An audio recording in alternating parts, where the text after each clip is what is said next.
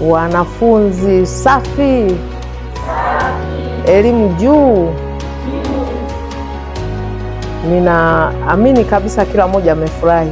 Kwa nafasi hii, napenda kuwashukuru sana ndugu zetu wa USAID pamoja na watu wa Radio Kings na wadau wengine ambao mmeongozana nao ambao mmeweza kuona umuhimu wa kuja kutoa hii elimu ya elimu, elimu rika, mambo ya hedhi salama na, na mambo mengi ambayo mmetufundisha.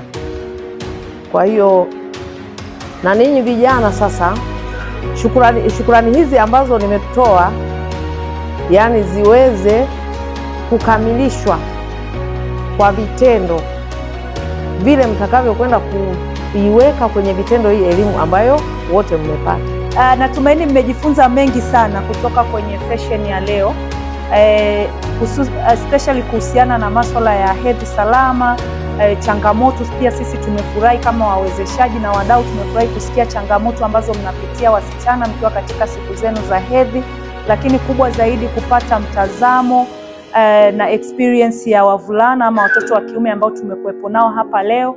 Natumaini mtakwenda kuwa mabalozi wazuri sana e, shuleni kwenu kuwafundisha wenzenu wengine, lakini pia kuwasaidia wasichana pindi ambapo mnaona wameingia kwenye siku zao kwa bahati mbaya wakiwa mashuleni.